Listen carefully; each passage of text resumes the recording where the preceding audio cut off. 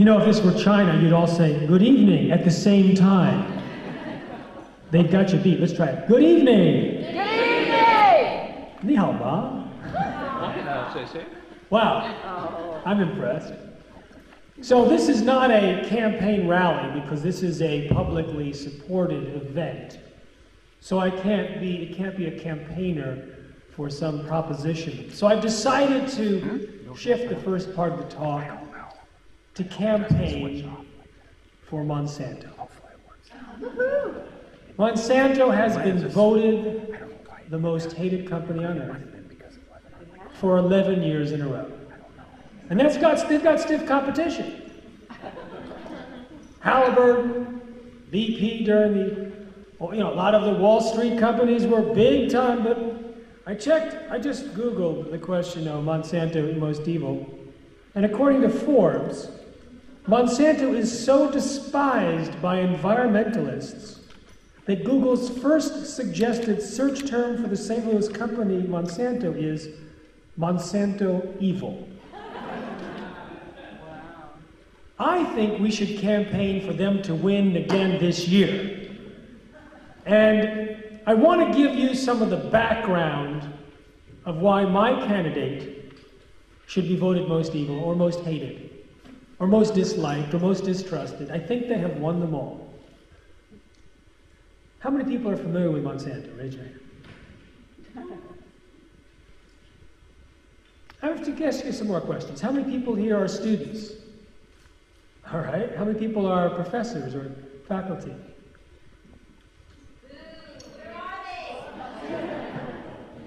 Tell them, you, tell them what their homework is. How many are staff here? How many are plants by Monsanto? Monsanto told us that PCBs were safe. It was an industrial chemical, and they manufactured it in Anniston, Alabama. And a friend of mine was a doctor there. And he said these people were horribly sick. The people that worked at the Monsanto factory. And he didn't know what, they were creating. I told him last year that it was PCBs. Now, the executives at Monsanto knew that they were poisoning the people in Anniston, Alabama. They knew from documents made public from a lawsuit that they were poisoning people all over the earth with their PCBs.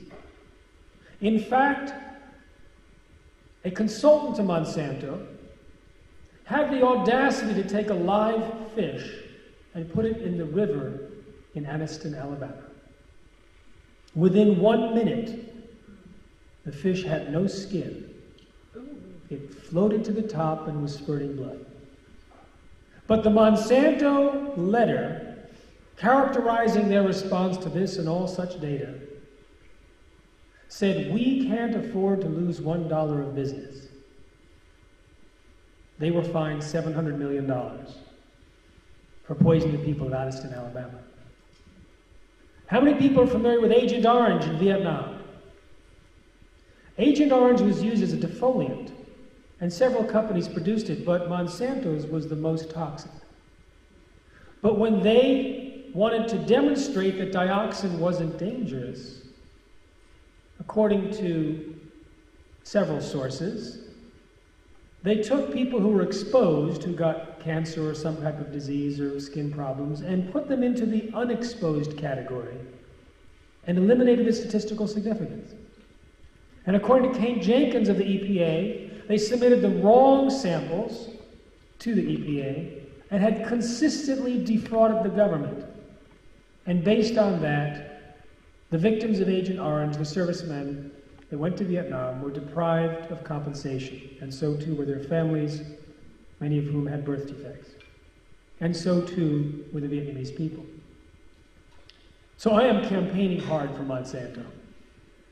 Monsanto told us that DDT was safe, and when it was banned in the United States, they sold it elsewhere. They told us that bovine growth hormone was safe. How many people have heard of bovine growth hormone? All right, let me see if this one works. Help me. Is there an AV person in the house? Ah, thank you. All right. Bovine growth hormone, injected into, un, into cows to increase milk supply. A former Monsanto scientist told me that some of his colleagues were testing the milk from treated cows. And they found so much of a cancer promoting hormone, IGF 1, in the milk that the three Monsanto scientists refused to drink milk thereafter unless it was organic. One bought his own cow. He also told me, well, actually, I'll tell you the rest later when we get into GMOs. There's more about bovine growth hormone I want to share. Two Fox TV reporters in Tampa were going to blow the whistle on bovine growth hormone and link it to cancer. And then a, a letter arrived at Fox headquarters three days before the four part news series was to be announced and, and aired. And it alleged that the reporters had lied and that the information was unsupported. And so the head of the station, who was an investigative reporter himself, walked the reporters through the script to make sure everything was backed up. And it was. Everything had been documented. So he reported that to the Fox Central. Fox then rescheduled it a week later. But next, Monsanto sent a letter, their attorney sent a letter, promising dire consequences to Rupert Murdoch and Fox if they aired the four part news series. So one of the Fox TV reporters said that he was offered hush money, that he and his colleague were offered money, like 200 something thousand dollars, to leave the station and never talk about bovine growth hormone again. They refused.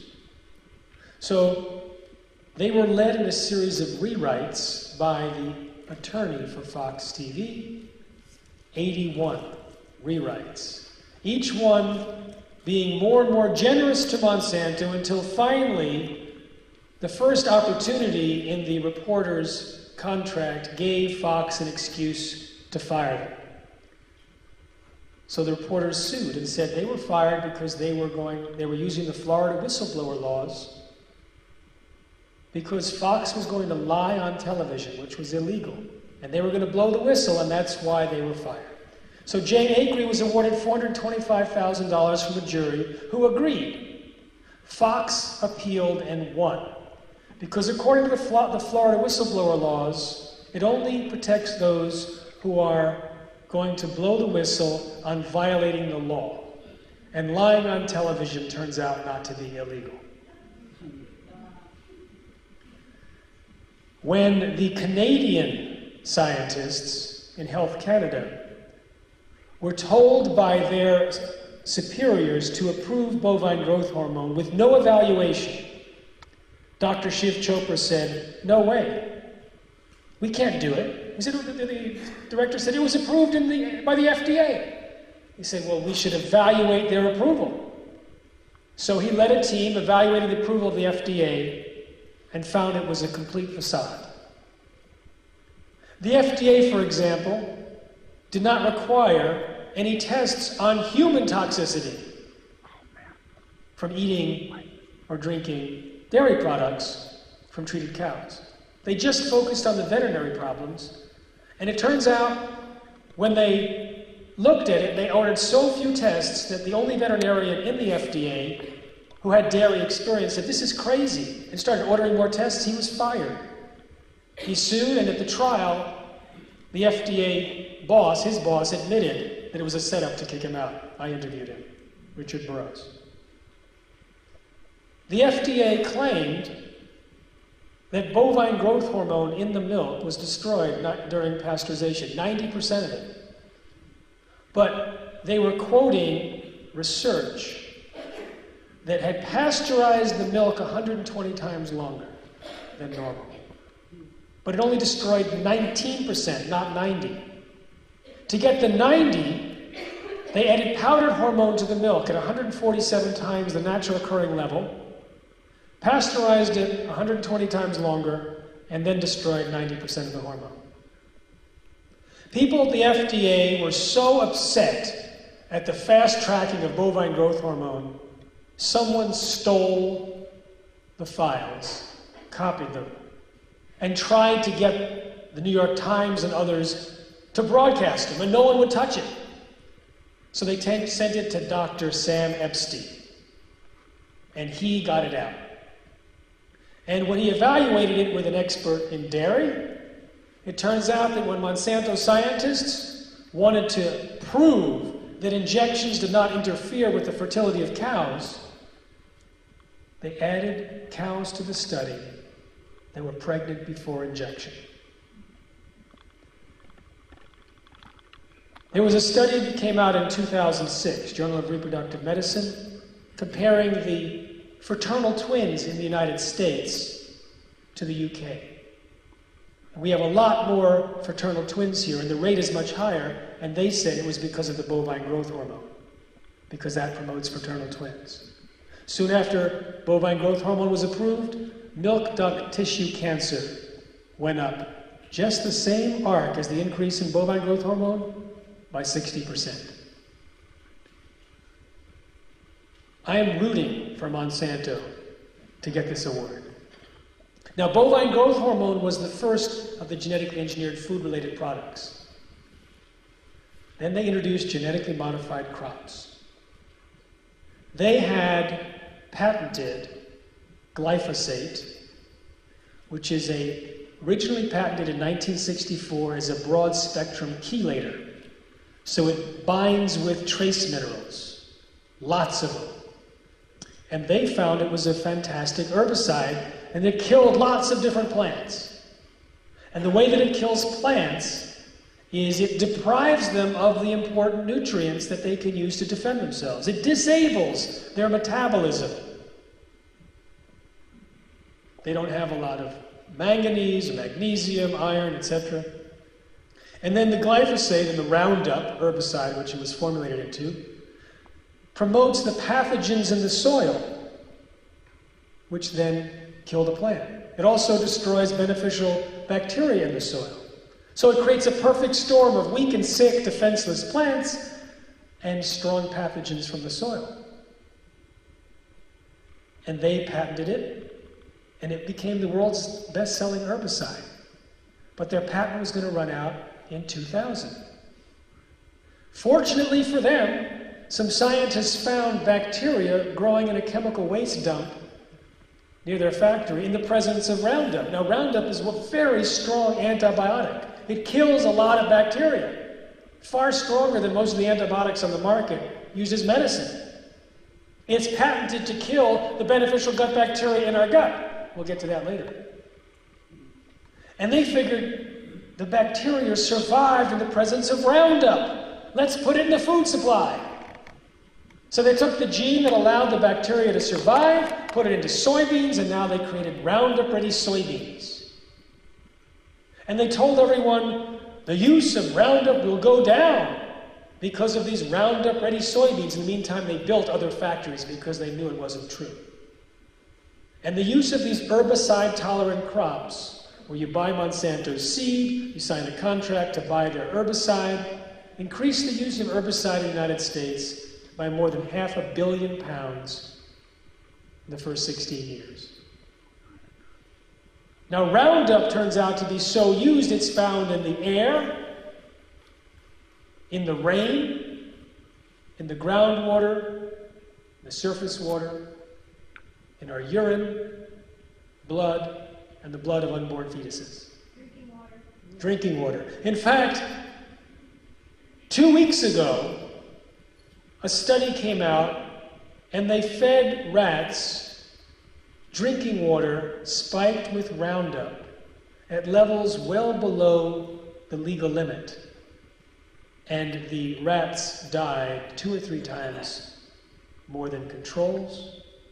They had pituitary, kidney, and liver damage and massive tumors, as much as 25% of their body weight.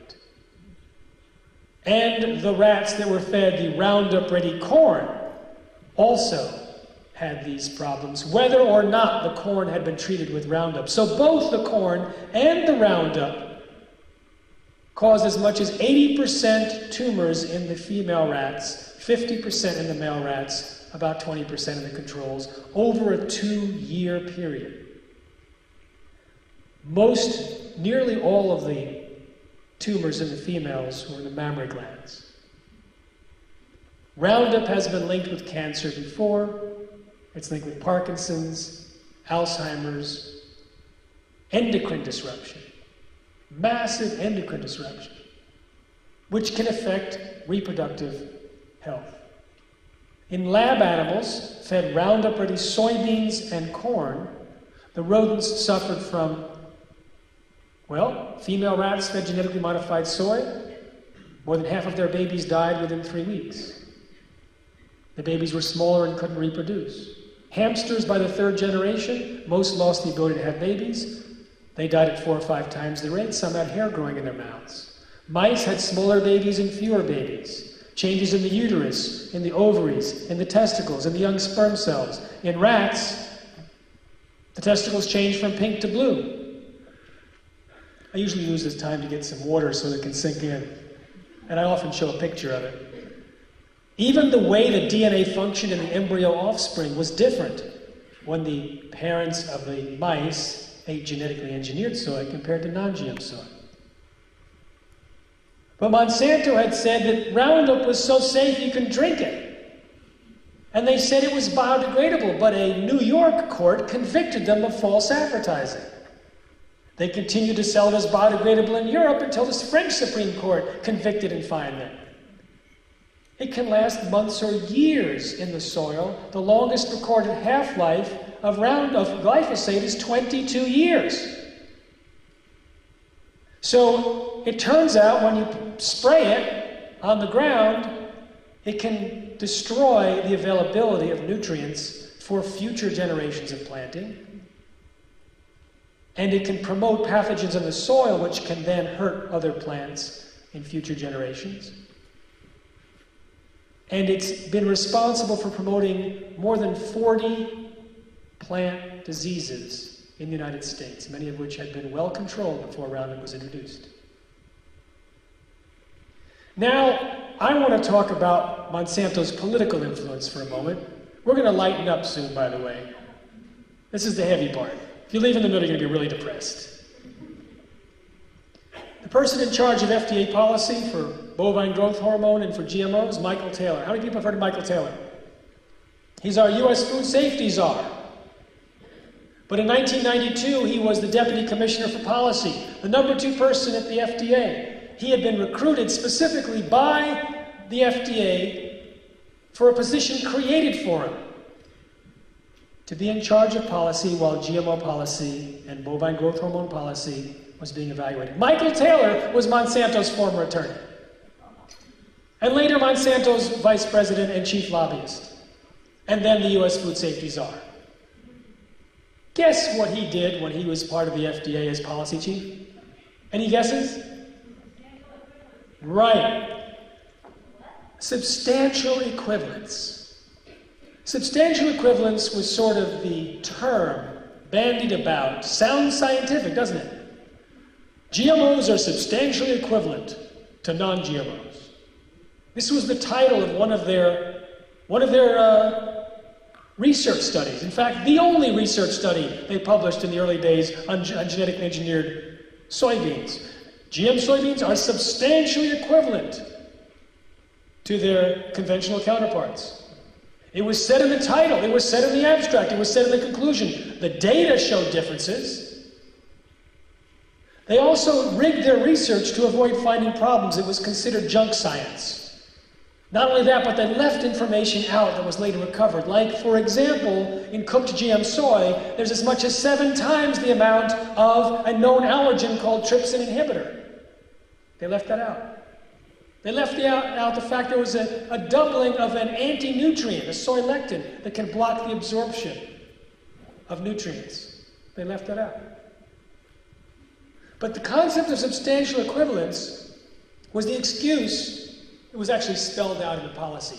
the agency is not aware of any information showing that the foods derived by these new methods differ from other foods in any meaningful or uniform way. In other words, we looked around. We couldn't see any difference. Therefore, it's the same, or substantially equivalent. No testing, therefore, is necessary. Monsanto, who told us that PCBs, Agent Orange, and DDT were safe, can tell us if GMOs are safe. In fact, they don't have to tell us. They don't have to label it. They don't have to talk to the FDA. They can put it on the market without telling anyone. And so can you. So that's why GMOs are on our plates.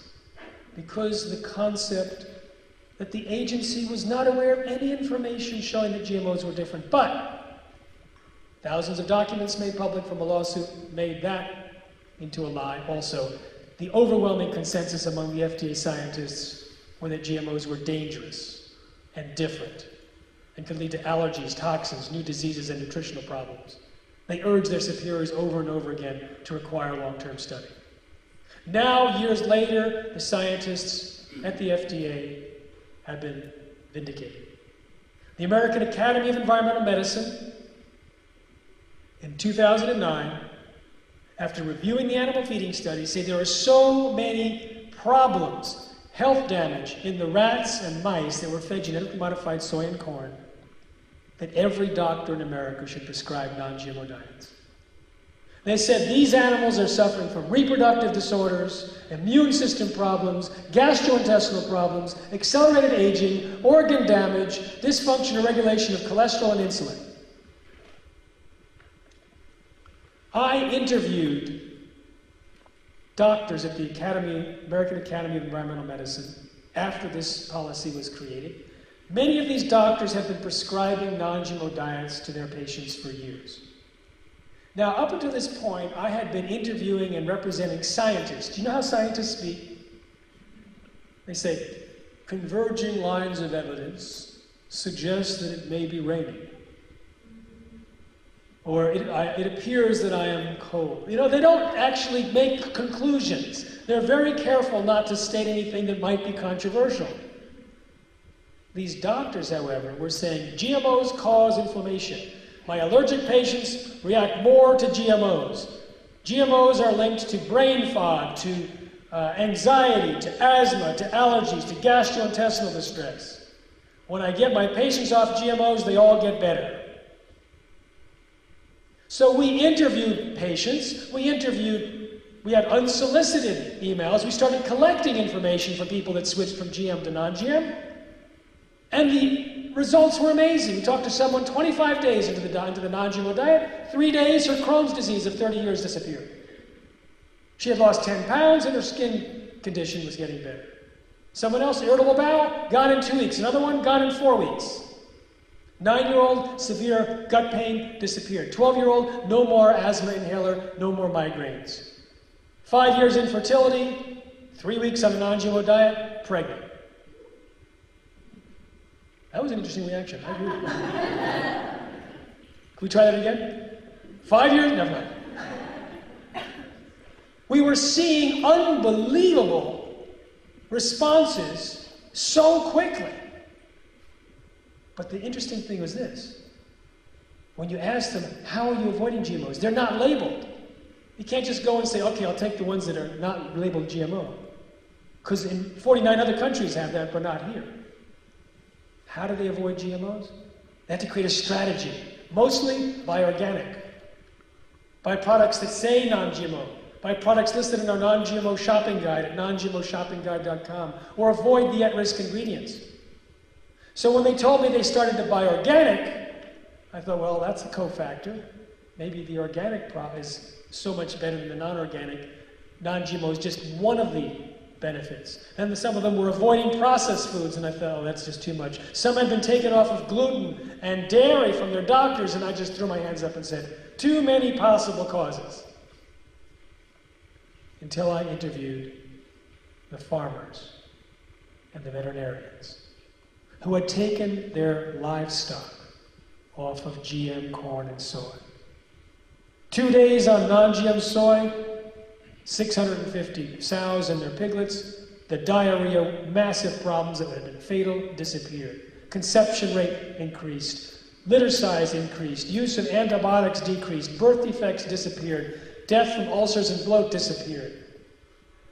All he did was switch from GM soy to non GM soy. There were no gluten free pigs. And for the cows, there's no dairy free cows. But a cattle lot operator said he didn't realize it until he took GM corn out that the more he'd been feeding the GM corn, the more deaths he'd have. And pneumonia and other infectious diseases. He took out the GM corn, death rate went down, infection rate went down. Over and over again, we heard the stories. And if you look at what the animals were getting better from, they were the same categories that the humans were getting better from. And the same categories that the American Academy of Environmental Medicine described as those suffered by animals in labs fed GMOs. And not coincidentally, it's the same categories of diseases and disorders that are on the rise in the US population. Inflammatory bowel disease, up 42% since GMOs. Multiple chronic illnesses nearly doubled in the first nine years. Food allergies doubled. Infertility skyrocketing. Cancers up. How can GMOs be causing these things? We talked about one problem Roundup, depriving nutrients, causing reproductive disorders, possibly linked to cancer. There's also a new pathogen that's linked to spontaneous abortions and infertility. This new pathogen is found in the aborted fetal tissue of animals where there's high amounts of infertility, and it's in the feed sprayed with Roundup. You also have the Bt toxin. This is the corn and cotton plants that are engineered to produce a toxic insecticide that breaks open the stomach of insects to kill them. The Monsanto said, don't worry about putting Bt in corn and cotton. It only pokes little holes in the cell walls of insects, not humans, and besides, it's destroyed during digestion. Well, it was destroyed during digestion, apparently until last year when they finally studied the blood of pregnant women and unborn fetuses and they found it in 93% of the pregnant women and 80% of their unborn fetuses. Monsanto's Bt toxin from their corn. And it doesn't poke holes in human cells until they published a study this year showing it pokes holes in human cells, causing leakage. So if we're causing leakage in human cells, that could be linked to inflammatory bowel as well, gastrointestinal distress. It's also a, a potential allergen, a very strong potential allergen. It could help increase the immune system responses by poking holes in the human cell lining in the, in the gut. It can cause leaky gut. That can cause undigested food particles to go into the blood, which can cause an antibody response, which can lead to food allergies and autoimmune disease and inflammation and possibly cancer and Alzheimer's and Parkinson's and a whole host of other diseases. So this explains why GMOs may be responsible for these same categories in lab animals, in livestock, in humans, and in US population figures. So around now, I'd like you to consider casting your vote for Monsanto. But let me tell you what their plans are. In 1999, January, San Francisco, their consultant, Arthur Andersen, which was also uh, Enron's consultant, described how they had worked with the executives. They asked the executives of Monsanto, describe your ideal future in 15 to 20 years. And they described a world in which 100% of all commercial seeds were genetically engineered and patented.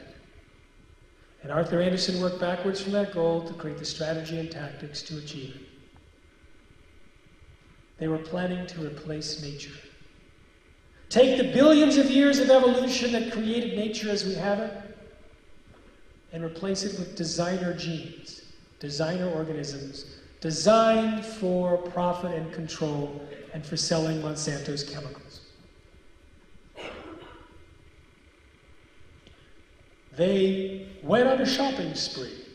They bought seed companies all over the world and became from a chemical company to a life sciences company and the largest seed owner in the world. In India, they bought Mahyco, which sells cotton seeds, and then eliminated the availability of non GM cotton seeds in many states, and did a high pressure, high deceptive program to convince millions of farmers to borrow money to pay for the more expensive GM seeds and associated chemicals. And these crops are not reliable. And many of these farmers who bought from loan sharks with rates as high as 7% per month on loans were unable to pay back the loans. And the number of farmer suicides linked to Monsanto's BT cotton over the last 10 years is about 200,000. Thousands of farm workers picking the BT cotton are getting rashes and itching all over their bodies. Thousands of animals grazing on the cotton plants after harvest have died or gotten sick. I went to one village, they allowed their buffalo to graze on natural cotton plants for eight years. There was no problem. But after one day grazing on Monsanto's BT cotton plants, all 13 buffalo died within three or four days. So this was part of Monsanto's plan to replace nature was backfiring in developing countries, but that didn't matter. They kept distorting and denying the evidence.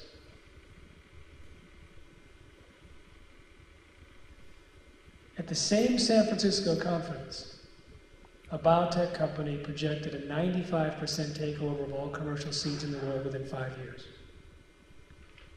So they were wanting to fast track the seeds. But it's not just seeds. They've released genetically modified insects in the Cayman Islands. They have desires for genetically engineered salmon and for cows and pigs. Basically, trees, flowers, everything.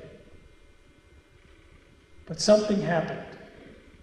Three weeks after the San Francisco conference, the gag order was lifted on a scientist who had been working to figure out how to test for the safety of GMOs. Dr. Arpad Pusztai, one of the world's leading scientists, certainly the world's the world's leading scientist in his field, had been given 3 million bucks by the UK government to figure out how to test for GMO safety. His protocols were supposed to be used as the approval protocols in the EU until he discovered that GMOs were very dangerous. They had caused massive damage to rats in just 10 days. He went public with his concerns, was a hero at his prestigious institute for two days. Then the phone calls came. UK Prime Minister's office to the director. The next day, Pusztai was fired after 35 years. Silenced with threats of a lawsuit, they never implemented his protocols. They embarked on a campaign to destroy his reputation. And this pattern of trying to destroy the reputation of scientists who discover problems has continued and eliminated all but a few bold scientists to do research in this area. But his gag order was lifted by an order of parliament. He got his data back. And what is most interesting, besides the fact that this information is now published, is that a firestorm of coverage happened in the UK and around Europe. More than 700 articles within a month. Within 10 weeks, the tipping point of consumer rejection forced the hands of the food companies. Unilever, Nestle's, McDonald's, Burger King, Walmart, Sainsbury, Marks and Spencer. Everyone kicked GMOs out of Europe. Out of Europe, not the United States. So Hershey's sells non GMO kisses in France. But our kisses are genetically engineered. Why can't we get the kisses they enjoy in France? Nestle sells non GMO chocolate. Unilever. Our Breyers low fat ice cream. They took genes from a fish, put it in yeast that grows fish proteins are put in the low fat ice cream for Breyers. And the dairy is from cows treated with bovine growth hormone. and fed genetically engineered crops. But this turning point, this tipping point in Europe, is very significant. And this happened in 1999. But we saw another tipping point less than a decade later with bovine growth hormone, which is banned in Europe, banned in Japan, Australia, New Zealand, Canada, and now Walmart's milk, Starbucks milk, Yoplait, Dannon, most American dairies. Because consumers learned about the cancer risks and a tipping point was achieved. How many Americans would it take avoiding GMOs for the Kraft food manager who's aware that they don't sell GMOs in their products in Europe or Japan? They're aware that GMO anti-GMO sentiment can ignite and travel very quickly. How many points drop in market share are they willing to withstand before they decide to take GMOs out? There's no consumer benefits. There's no consumer benefit. No one wakes up in the morning wanting their daily dose of Roundup or BT. They're not going to say low GMOs, like low fat. I think any percentage drop in market share that they can show as a result of anti GMO sentiment is sufficient to be a food industry sell signal. And I think about 5% of consumers would be enough to do that. 5% is 15 million. There's 28 million that buy organic on a regular basis. Many more million of parents of young children who would do it for their kids. Many more who are sick and may feel better on a non GMO diet. Many more who are religious. And religions, many of them think GMO really means God move over. And have actually said, the World Council of Churches, I think there's 300 churches part of that. They said churches should work with NGOs to stop GMOs in agriculture. Stop the genetic engineering of agriculture. They're for labeling. You can't plant GMOs on the Anglican church property in, in England. There's enough resistance that we can stop GMOs with a tipping point. So it's not a vote. We don't need to ask Obama for a bailout. Labeling will accelerate that because 53% of Americans say they would avoid GMOs if labeled. What are the companies going to do if they have to put a label on? Someone from the industry said a GMO label is like a skull and crossbones. Are they going to label it?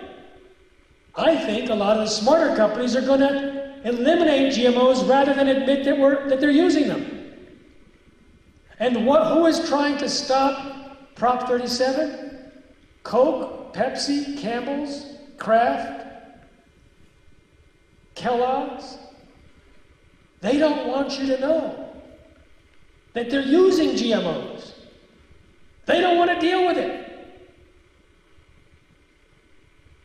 So, actually, California is an incredibly leveraged state right now. If labeling passes, it may accelerate the tipping point forcing the companies to say, okay, I've got to fess up or eliminate GMOs. And if they eliminate GMOs in California, these national brands have to eliminate GMOs all over. Because once they put it out there and it gets distributed through the distribution, if it's not labeled in New Jersey or Texas or whatnot, it may end up being sold in California. So they're going to remove it or label it. I think it'll be national. So they are pouring on the money. $35 million in disinformation. They are confusing voters by saying that labeling is confusing. They're spending more money than they'll ever spend on labeling, telling you that labeling is too expensive. And then they have the audacity to publish ads that say, oh, we don't like this, not because it's labeling, but because it's not labeling enough. It labels my dog food, but not my steak. So we need to get a bigger labeling law. These guys have bad science down to a science. You know when they're lying, when their lips are moving. These guys are incredible. The audacity of these companies to say, you know something, trust us. You don't really need to know that you have GMOs in your food, do you? I mean, look at us. Are we going to hurt you? This is Monsanto speaking, remember? They actually want us not to know anything about GMOs. Then on September 19th, this study comes out in France with the tumors and the deaths and the organ damage. This study is not insignificant. Within days, Russia banned the importation of genetically modified corn. Yes, Russia banned it because they realized, oh, this stuff will hurt our citizens. Why is this one significant? Not only the massive damage to the rats, but the biotech industry rigs their research to avoid finding problems. We've caught them red handed using the wrong statistics, the wrong detection methods, the wrong animals, short feeding studies, 90 day feeding studies. They feed a rat 33% or 11% corn for 90 days and say, it's okay now for the Africans who eat 70% of their caloric intake to have our corn for the rest of their lives. In this study, they did two years, the first comprehensive two year study.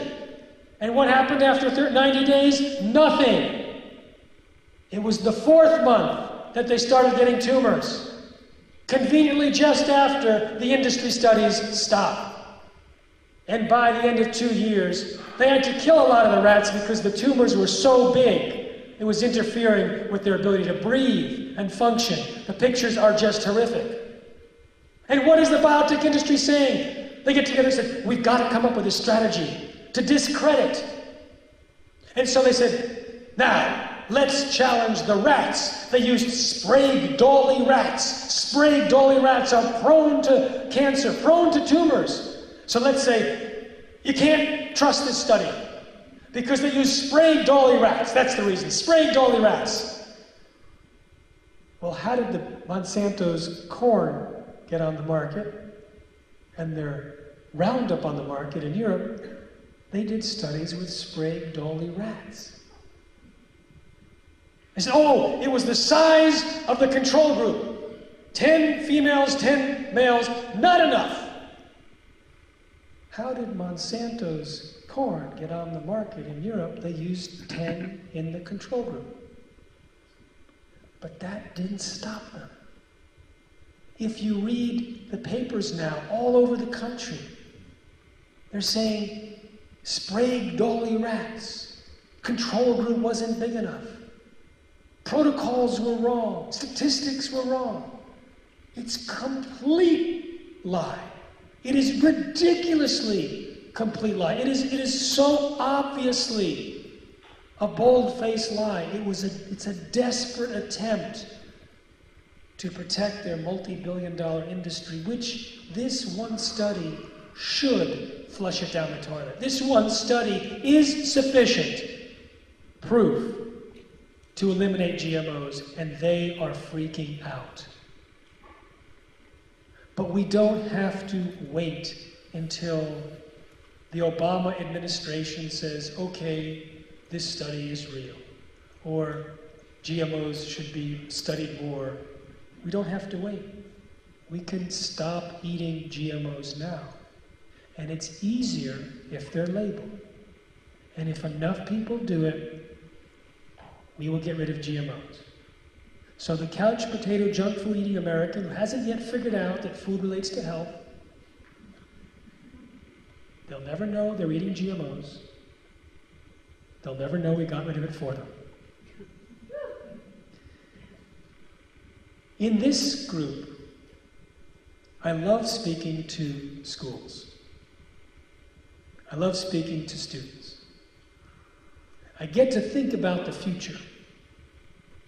In this case, we have two futures to choose from a genetically modified or the results of the billions of years of evolution.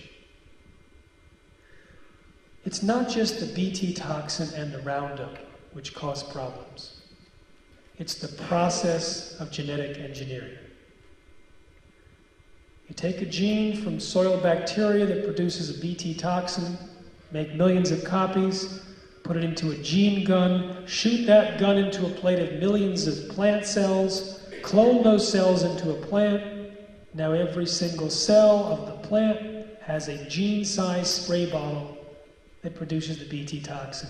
But something else has happened. The process of insertion plus cloning causes massive collateral damage in the DNA. Hundreds or thousands of mutations up and down the DNA can be created. Up to 5% of the naturally functioning genes in the plant can change their levels of expression. In Monsanto's BT corn, 43 genes dramatically increased or decreased the number of proteins they're producing. In one case, a silent gene was switched on, producing a new allergen that's never found in corn, but is found in Monsanto's corn. In their soy, as we said, a new, an, existing soy allergen is up sevenfold. That's not supposed to happen. It's not part of the design, it's part of the collateral damage. And when they said they were going to be genetically engineering food, so many scientists around the world figured they must have come up with a new technique because the techniques we're using are prone to side effects. And then they realized they haven't. They're using the same shotgun method or agriculture or bacterial infection and cloning that is so imprecise. But the biotech industry has a rule book. You take the criticisms that they're going to lodge against you, and then you go to the extreme. So it's an imprecise method, so what do they say? It's more precise. It's a dangerous method, so that they say it's healthier. It's very damaging to the environment. We know this. They say it's good for the environment. They go to the opposite extreme, saying it's safer than traditional food to create confusion. And then they spend literally hundreds of millions of dollars to prop up the myths GMOs can't feed the world. They work against feeding the world. They actually lower yield. They increase the use of agricultural chemicals, concentrate the ownership of the food supply, eliminate the biodiversity in fields, and according to the experts at feeding the world, no current genetically engineered crop works in that favor. So we have a situation now where a few corporations with support of the US government are trying to design a new nature, replace nature. And that's on the one side. And life as we know it, or before 1996 when so many GMOs were introduced, is on the other side. Labeling is part of the balance because it gives people power. It gives the power to the people to make choices, and that could shift the balance of power in the market. So, this is a very important time. And I'd like to encourage you to think about the impact of GMOs from this point. Because if we replace nature, it affects all who eat, all living beings, all future generations. I think that's crazy, insane. And I think that by taking steps to prevent that, we're doing more good than our ancestors have ever had the opportunity to do. Because they could never have done actions that could help protect all living beings and all future generations. Because there had never been a technology on Earth to create such a disruption. So I would like to encourage you all to learn more about GMOs, to get involved in educating others, and to think how you want to cast your vote. And I also want to suggest finally that we can all cast our vote for Monsanto as the most innovatively hated company on the earth. Thank you very much.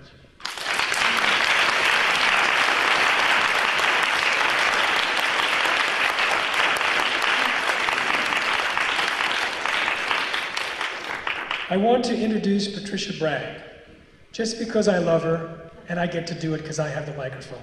Patricia Bragg is, is a leader in health in the United States. Her, her dad, Paul, Paul Bragg, started the first health food store, started the fitness movement. Patricia Bragg is a leader. She's a giant. And let's give her a warm welcome. By the way, by the way our product, Bragg Liquid is certified, certified non-GMO. And so it's very important. And I want you to know I'm very proud to be here tonight. And I think he should have filled up the stadium. That's what we should have had for him. Because this message is so strong, we have to stop GMOs and we demand that it be labeled. And otherwise, we're not going to buy the products, right? That's right. Thank you. Thank you, Patricia Bragg.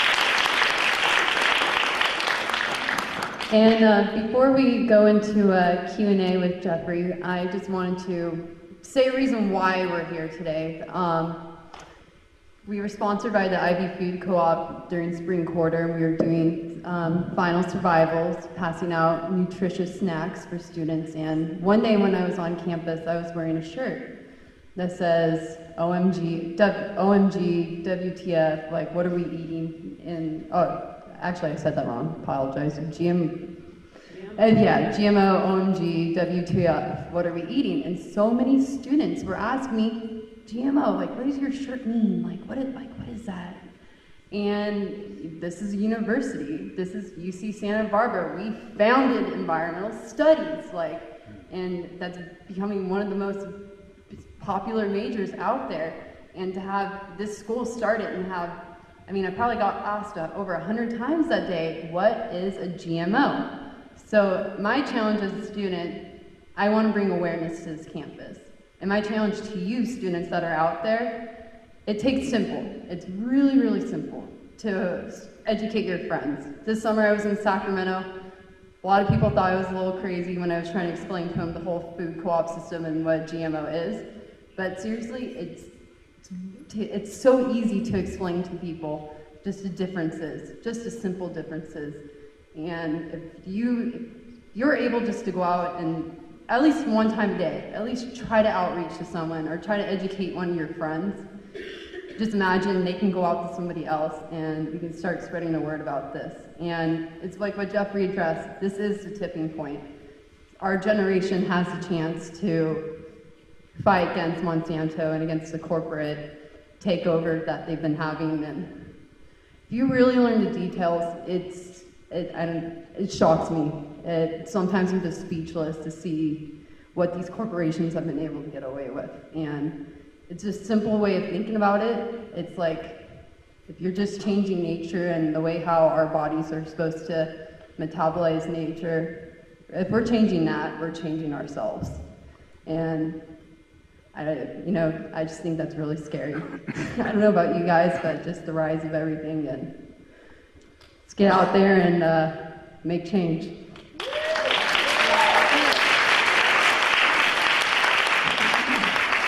We're going to do some Q&A, and I want to give you some tools first. Um, non-GMOshoppingguide.com, tool number one. There's over 4,000 products that are third-party verified as non-GMO. If you have an iPhone or iPad, you can download Shop No GMO. It also has them. We have a shopping guide in a packet form, in a pocketbook form, at the table, although that has the brands only. And the brands, sometimes they have GMO and sometimes they have non-GMO in their products. So the electronic version lists all the products, the pocket version lists the brands, and you have to check to see if it's labeled non-GMO when you get to the aisle of the grocery store. There's also a list of at-risk ingredients, which you can avoid by looking at, you know, if it says maltodextrin, it's probably from corn. Um, another tool is we have books, and again, we'd like to do a lending library because I know when I was a student, we didn't buy books unless they were assigned, and we'd like to have a lending library. The most recent movie we have created is called Genetic Roulette, The Gamble of Our Lives. And we released it for free online for one week. How many people have seen it? Okay, so we know that it really changes people's attitudes and diet on the spot. We had 1.25 million views that week. And here's a late breaker. Tomorrow, it'll go up for another free week. No one knows that yet. And to find it, you go to geneticroulettemovie.com. Another tool is our website, responsibletechnology.org. And responsibletechnology.org, you can you pull the um, our literature and our brochures. They have our websites on them. And please take one for free. We have brochures and shopping guide. And sign up for our newsletter, which is called Spilling the Beans. And you can get that. It comes out semi wheneverly, whenever we get a chance. But we have also now a non-GMO click and send revolutionary army working with us on social media. And every day for the past week, we've sent out a video uh, related to GMOs, Prop 37, GMO education. Today we sent out a video with Danny DeVito and Bill Maher and about 10 other celebrities. It's, it's going viral today. It came out this morning. I suggest that you uh, Google it and see what it has to say. You can join that click and send non-GMO revolutionary army at responsibletechnology.org and there's a Facebook page there as well. So that's some of the materials. that The Prop 37 people have materials back there. But visit us at the table, and now I'll be happy to take your questions. Yes.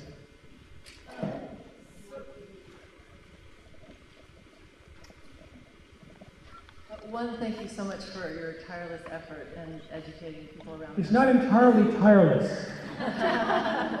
I remember on Friday last week, I figured out, okay, I had did 16 press interviews, including Dr. Oz, and packed and unpacked 12 times and gave talks to seven groups. And I, wasn't entirely tireless. Dr.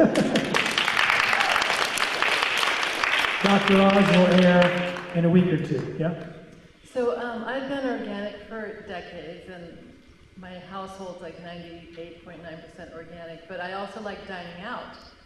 And there's a few restaurants in Boulder, not Boulder, I'm here in Santa Barbara, that um, you know are organic and such. But um, the day that I went and saw your film, I rarely do Mexican food, but I went and had Mexican food and had a tamale and all that. And once I saw your film, I was like, oh God, I just wanted to like get it out of my body. And so, um, what do you suggest with, I mean, the restaurant, you know? Well, first of all, I have to say, in terms of getting it out of your body, I didn't mention something.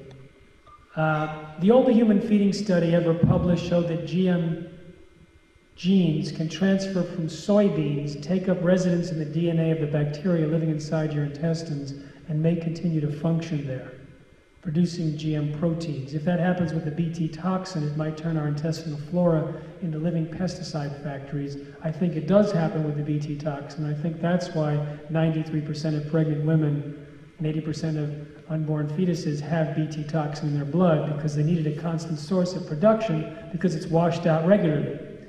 The authors thought it may be the GM feed fed to the animals, and so it was the milk and meat of the animals that caused the high percentage, but I think it was the colonization of gut bacteria. And so a common question is, how do we get rid of that? I don't know, but I can say that people are getting better when they switch to non GMO diets. So I wanted to respond to the getting it out thing first. Um, when I go out to eat, I don't go to fast food places because they make processed foods that come from soy, corn, cottonseed, and canola. The, five, the nine genetically modified food crops soy, and it's listed in the, in the pamphlet, you don't have to write it down. Soy, corn, cottonseed oil, canola oil, sugar from sugar beets, alfalfa used as hay, papaya from Hawaii or China, and some zucchini and crookneck squash. As far as we know, no popcorn has been genetically engineered and commercialized at this point. But if you look at processed foods, It'll contain derivatives of soy and corn and sugar and cottonseed and canola oil in large quantities. So if it's boxed in a package, chances are it's got genetically modified ingredients. Not all of them, but the vast majority.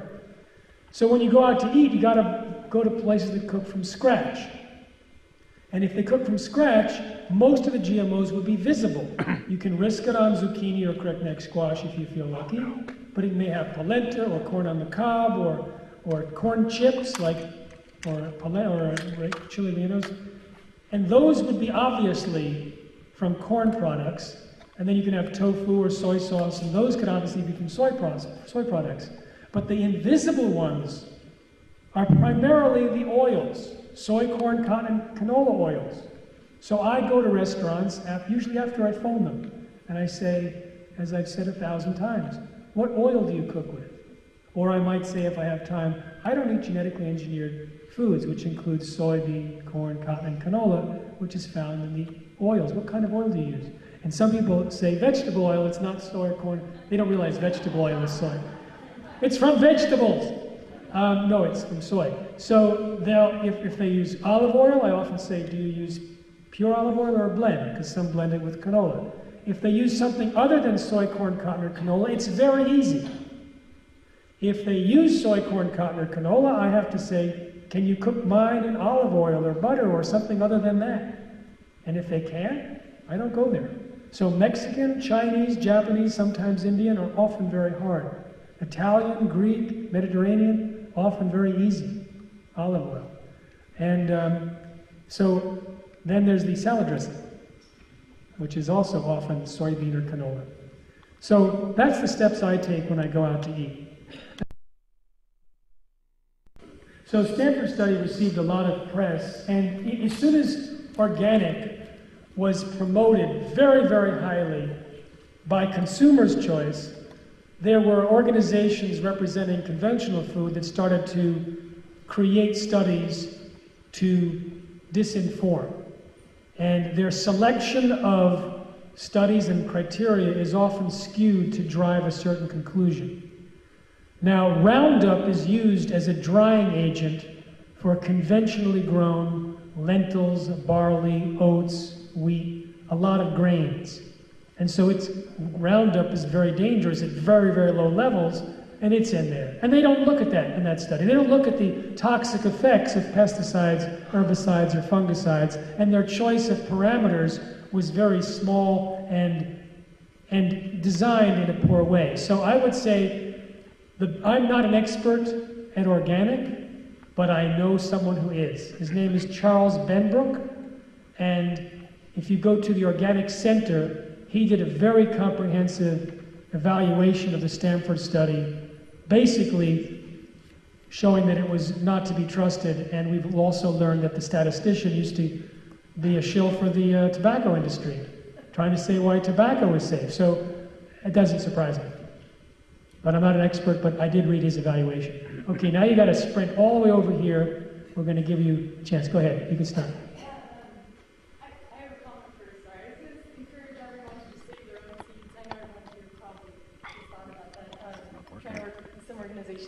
that, and it's just really important. But I was going to ask you about your your take on the USDA seal for organic. Um, as we all, a lot of us know, there are numerous pesticides that are attached to that as well. And what you're saying with the USDA's history, um, how valid is that seal? Uh, the seal is valid. The seal is the USD, the, the organic standard. It's, there's, it used to be that organic was created by industry, and in most countries it was a government you know, supported thing. So they just got together and made it a government supported program. But it's still the organic standard. Now, the USDA is a disaster related to GMOs. In July 1st, 2011, they told Scotts Miracle-Gro, we don't have to look at your Roundup Ready Kentucky bluegrass. It, it doesn't fit into our criteria, so you can introduce it without telling anyone in the government or anyone of consumers and this was opening the door to thousands of GMOs that didn't have to be looked at, knowing that it would be sprayed with Roundup and kids would be rolling in it. They just ignored it. So they're a disaster, and they're run by the former biotech governor of the year, Tom Vilsack. Next straight back. Let's Actually, before we go on to the next question, there's one person that I forgot to thank who helped me out a lot with this event, and before more people head out, he's sitting over there in the corner, Mr. Tom Lehman. Stand up. I'm a little crazy when it comes to planning, a little forgetful, so he was an essential factor towards that forgetfulness. So I appreciate all his help, and then I got a request for you to talk about burn down. Yes, I did actually. Well, no, burn down. I did talk about dry down. Uh, by the way, um, we are going to leave soon after this because this is the first of two events I'm speaking at today. I've already had, I think, three press interviews. Um, my voice is hurting, actually. Um, so if you you can, do we are we going to have stuff here for people to buy after I leave? No. So if you want to get any books or DVDs, and I know that in uh, colleges the money's tight, but if you want to get that, you don't have to wait till the end of the Q&A because at that point we're going to rush into the car and arrive late. So if you want to get something, you can do that now while Rachel is packing up. Burn down is something that's used by farmers when they want to eliminate the seeds and, and uh, of weeds and stuff in a field. They'll just spray Roundup all over the, uh, the field before the season or the end of the season. And so Roundup ends up in the soil. And sometimes that alone will promote the soil pathogens. And the next year you'll find things like sudden death syndrome for soy or Goss's wilt in corn just in the area where the Roundup was sprayed. Or if they're spraying Roundup with a tractor and they go around a bend and hit it twice, you can look from aerial views where it was hit twice, and that's where you end up with plant diseases because that's what Roundup does. It promotes plant diseases. The Roundup is extremely powerful antibiotic. When we eat it, it can kill gut bacteria that's beneficial, but not the E. coli or the botulism or the salmonella. And so now there's an actual epidemic of botulism in cows, and now they have a new technology to evaluate the presence of botulism at low levels in humans, and they find that sudden infant death syndrome appears to be from botulism and that may be promoted by the presence of Roundup. So it, it gets, it goes on and on and on. Yes? Well, Henry David Thoreau had a famous quote that for every uh, thousand men hacking at the branches of evil, only one digs at the root.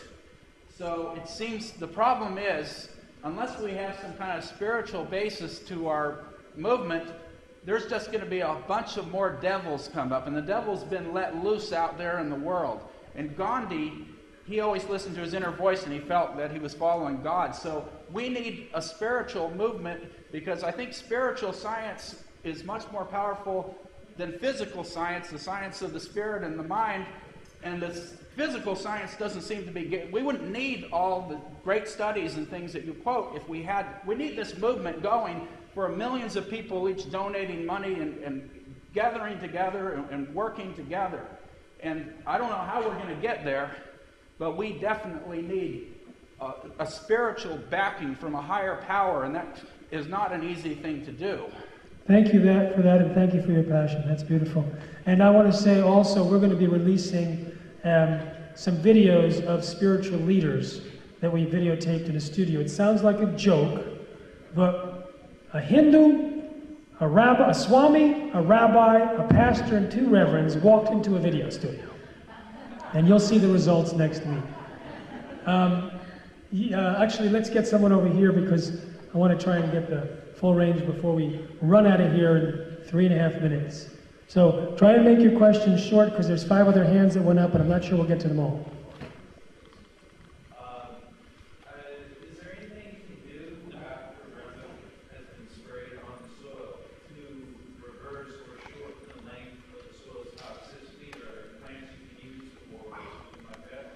There, it's being studied. There's some evaluations going on, but nothing conclusive. Um, the biological activity does not appear to eat it up. Um, that's what I thought. I was just with Don Huber, who's an expert at Roundup. We spoke together at the Conscious Life Expo for a couple of days. He's an expert at remediation. He's done huge acreage, million acre plots for, in China. He's worked in Mongolia, and he's one of the world's experts. And nothing yet is set, but they're looking at it. All right, more questions? Yes, right here. Getting my workout for the day. Who are the farmers who grow organic food and how can we make sure that they grow it in equitable terms for them? The, wait, what was it about the organic food? Hold it close to your mouth. Who are the farmers who grow organic food and how can we make sure that we get it in equitable ways from these farmers? So the farmers that grow organic will label their products organic. And it's easy to find when you go shopping. And if they go to the expense and effort to grow organic, they're going to go to the expense and effort to brag about it. And by buying organic, you not only support better health, but also an entire farming system. So it's really an investment. And they, a lot of like on my film, you'll see parents of autistic kids saying when their kids were put on non-GMO, they got better behaviorally and gastrointestinally.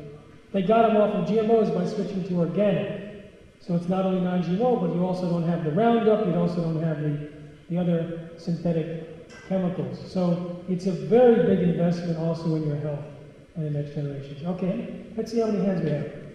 Have one, two, three, four. We're not going to get to everyone. Go ahead. I just have something to put out there for everyone. Um, Shepherd Farms does all organic growth, and um, they have CSA boxes, which we send out to Santa Barbara. So if you guys are interested in getting weekly amounts of organic produce for a really good deal, look up Shepherd Farms, and we can hook you guys up. So what I'd like you to do is, I would like to see, is there anyone else that has uh, an announcement, a short announcement about events related to this or resources related to this that they'd like to share? Yes, in the back. I